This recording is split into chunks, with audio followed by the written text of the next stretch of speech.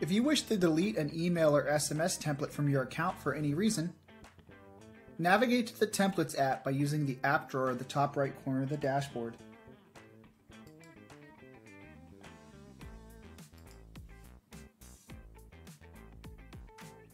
If you're in Board View, simply hover over a template. Then, click on the red trash can icon.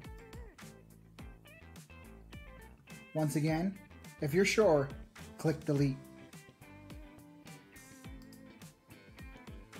If you're in Table View, hover over the template you want to delete. Click on the blue icon. Then, click Delete. Once again, verify your choice by clicking Delete.